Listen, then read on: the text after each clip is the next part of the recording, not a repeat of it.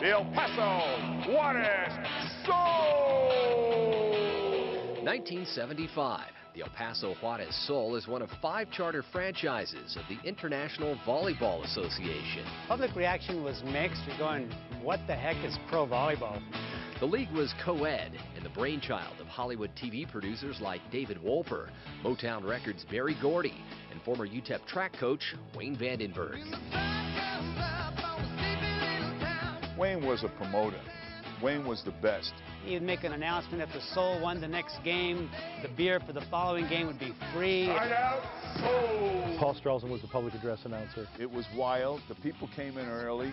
Uh, I rode the horse. Uh, he'd go up to the opposing team and he'd put the horse's head really where it doesn't belong. And uh, it was a lot of fun because it was a co-ed thing. I, I don't remember the locker room arrangements, but obviously they were on the up and up.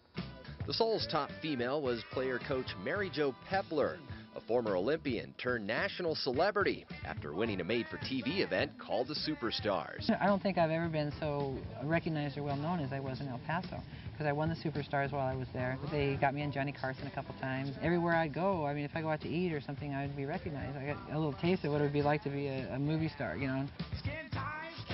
We have the best female athletes in the country playing volleyball because there was no other professional sport for them. In the outfits that they were putting on. And he goes, hey, coach. And I turn around and he goes, you got a nice ass. she was somebody that was capable, physically capable, of hitting against a man. But nobody could spike on the IVA's biggest star, Wilt Chamberlain. Wilt Chamberlain loved volleyball.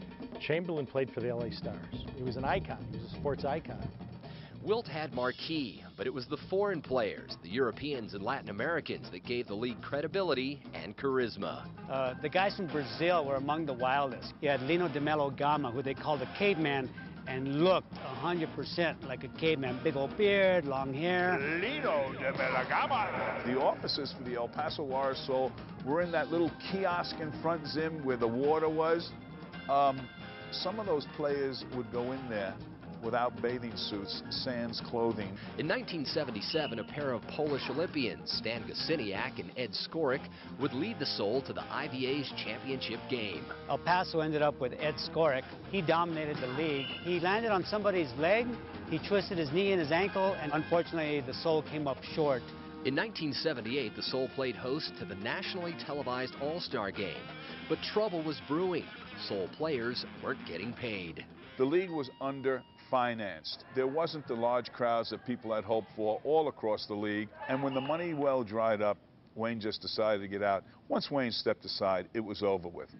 After losing an estimated $275,000, the Sol franchise folded. The IVA would follow one year later. It was a tremendous endeavor. It was something that El Paso had. We weren't 700,000 people in those days. All in all, I think that the El Paso franchise was probably the best franchise in the league. That was great.